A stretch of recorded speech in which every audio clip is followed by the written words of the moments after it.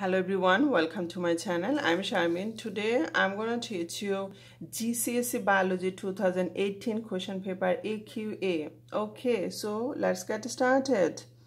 Figure 8 shows a food chain for organism in a, liver, in a river. The biomass of the organism at each trophic level. Figure 8, here is a algae 840 and here is a invertebrate animals okay? That means insect small fish 40 and large fish okay? So this is a big change here. Here is a huge number of algae here okay? So what's the question? Calculate the percentage of the biomass lost between algae and large fish.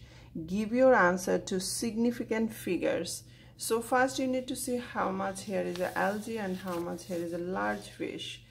So algae 840 and uh, here is a large fish 10 so we subtract and divided by 840 times 100 so it will be 99 percent. This is our answer okay? So percentage lost 99 percent okay so let's see another problem. Give one way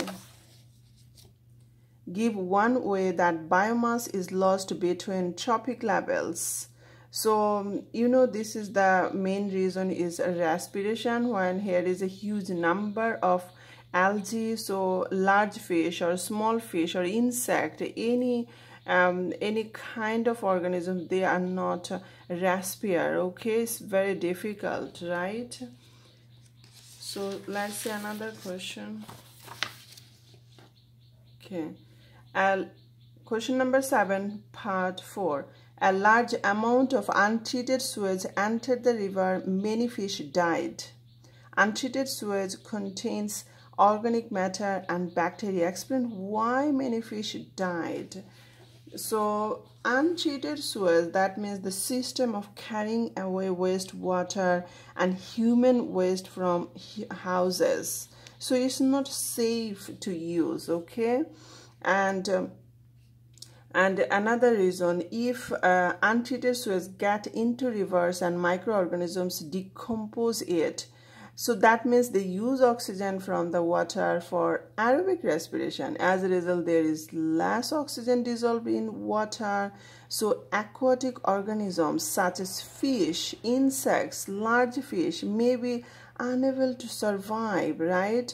So here is I'm just writing here. Here's the five marks. Bacteria decay organic matter and digestion and bacteria respire aerobically and lower oxygen concentration and here is a reduced uh, energy supply causes death of fish. Okay so that's all. Thank you very much